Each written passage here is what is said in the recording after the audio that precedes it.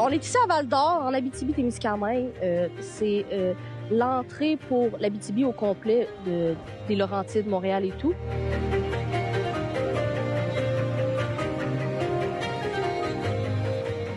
Ben, j'ai grandi à Val d'Or, mes parents euh, sont d'ici, ben, plus du Témiscamingue, se sont installés ici euh, quand ils étaient jeunes. J'ai fait mon primaire, mon secondaire à la polyvalente, comme tous les autres Valdoriens. J'ai fait les sciences humaines parce que j'ai toujours été intéressée par l'histoire, la, politique, la géographie. Puis ça m'a emmené à aller à Ottawa faire euh, une technique en tourisme et voyage. J'ai toujours été passionnée par les communautés autochtones. Au secondaire, j'avais fait un cours spécialisé. Puis euh, c'est ça, ça m'a emmené euh, à me rapprocher des compagnies autochtones.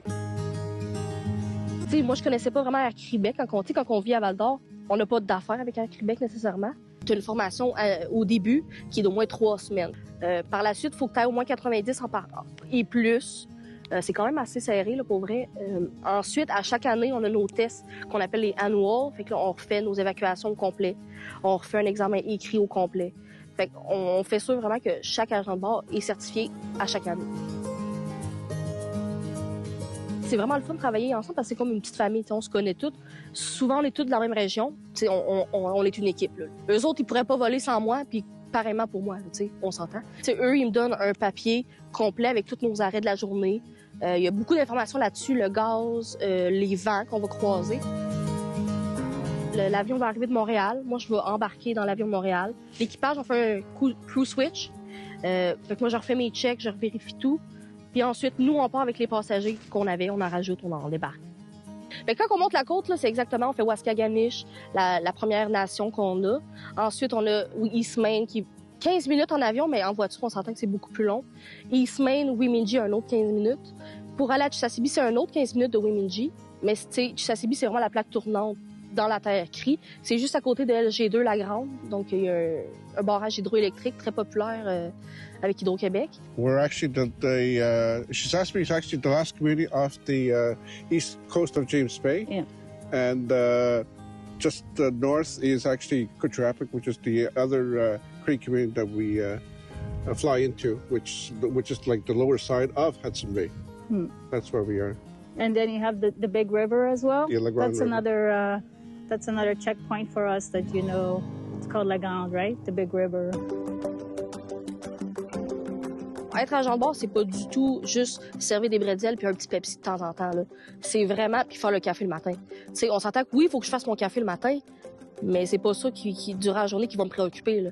Euh, si jamais on a un problème dans l'avion, moi ma première priorité c'est la sécurité des passagers, puis ensuite faire sûr que tout va bien se dérouler.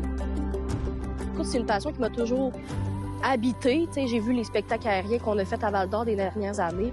Ça m'a allumé vraiment beaucoup. C'est ça qui m'a emmené aussi encore vers, là, vers Air Québec. Puis voir comment que c'est le fun. Les pilotes, ils me disent souvent, c'est la plus belle job ever. Ça donne le goût d'aller en avant, tu sais. T'as tellement, on a encore beaucoup de pilotes d'expérience, puis on est chanceux, puis moi j'ai appris de ceux-là. J'aime vraiment l'ensemble parce que c'est comme si, pendant ce moment-là, tous les dossiers dans ton cerveau sont ouverts en même temps. Puis là, il faut que tu utilises tout ce que, tu connais, même tes expériences personnelles.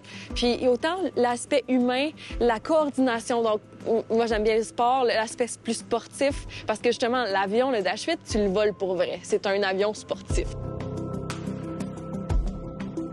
je pense juste voler, tu voir le ciel, voir comment que on est petit dans le fond. Le rêve d'être pilote, c'est un rêve que je à tous les jours, c'est vraiment précieux pour moi. Je prends mon temps pour me lancer parce que je veux vraiment le faire au complet. Mes collègues qui ont déjà été agents de bord, qui sont devenus pilotes, ça montre que c'est possible effectivement de le faire. J'ai des collègues qui sont également en train de faire le même cheminement que moi. Que vu qu'on est une famille, une fois qu'on se fait confiance, on veut rester ensemble. Quand, si quelqu'un s'en va, on a toute la peine, qu'on est tous tristes dans un sens des perdre, mais c'est une famille, on s'encourage là-dedans.